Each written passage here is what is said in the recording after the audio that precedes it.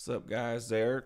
Um, okay, so let's say you got a synth pad type situation. Uh, sounds like this. We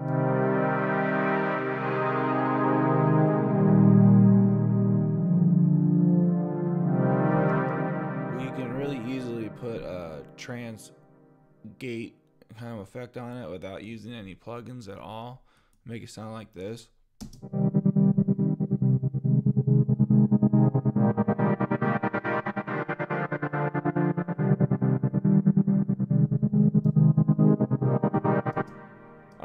Now, the way that you do that is through volume automation.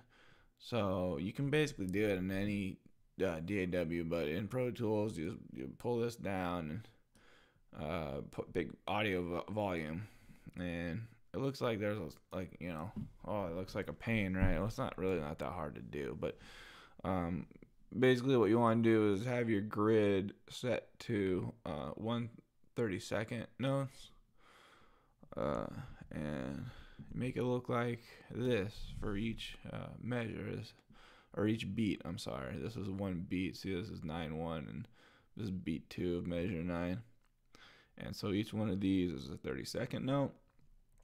Uh, basically, from here to here is a quarter note.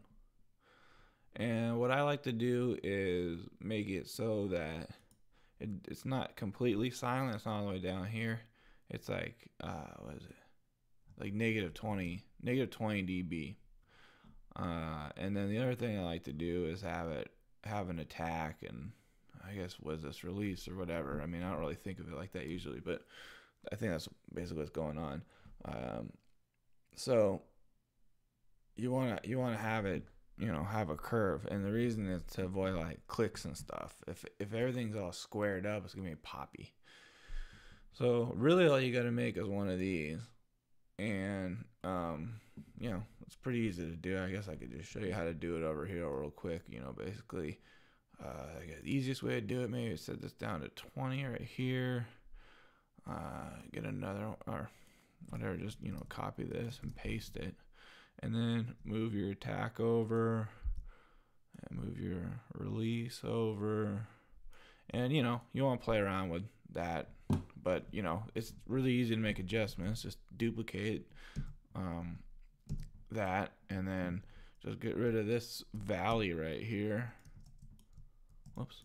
There we go. Get rid of that valley.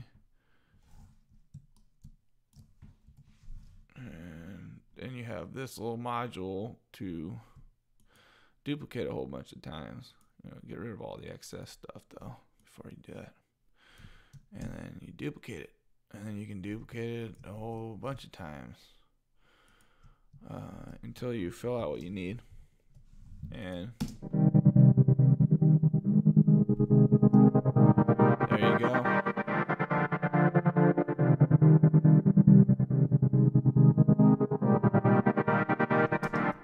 I would even say on that one you know there's a little bit of pop a click in the beginning here from what I pasted and I think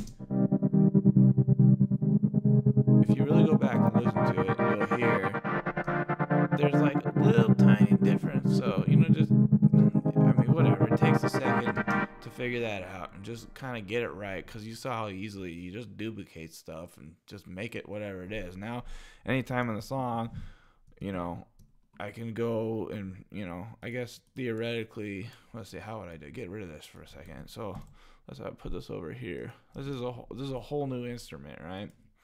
Um, I I don't need to do the work anymore to put it on that. I'll even this is what I'm trying to say.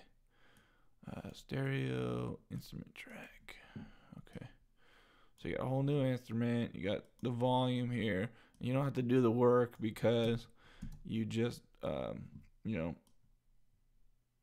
basically paste it on that onto this one right there. There you go.